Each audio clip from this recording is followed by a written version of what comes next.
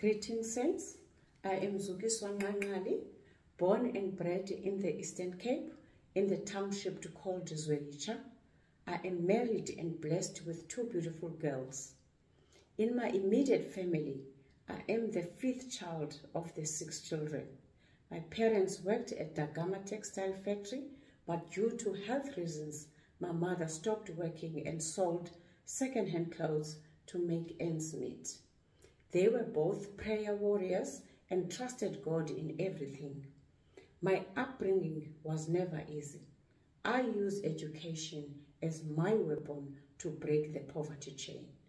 Fast forward in 1992, I was a qualified and a registered accountant, both degrees under and postgraduate, completed at UWC and UNISA respectively. All my studies were sponsored by the City of Cape Town. I was appointed as an assistant accountant in 1993 and the first black accountant in the city of Cape Town. This was an environment where I felt reminded that I am different as the city of Cape Town was known of being English and Afrikaans at the time. I had to constantly prove myself whilst dealing with all the stereotypes related to Africans.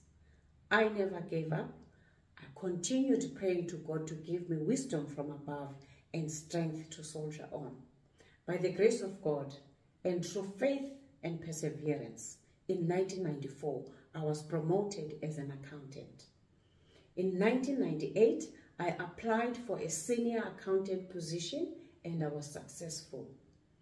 In 2005, while I was on maternity leave, I received a call from the then CFO by the name of Mike Richardson to come for a job interview for a senior manager or I can say a city financial planner.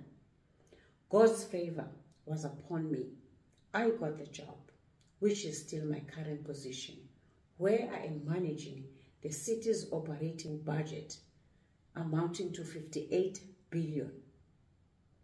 What kept me going was to remove my eyes from the challenges and trust God. I pushed through the pain and changed both my attitude and mind. Giving up was never an option. Today, I am living my purpose. I am mentoring young graduates within the Finance Directorate. This is my testimony that God never fails. Therefore, I give all the glory and thanks to Him.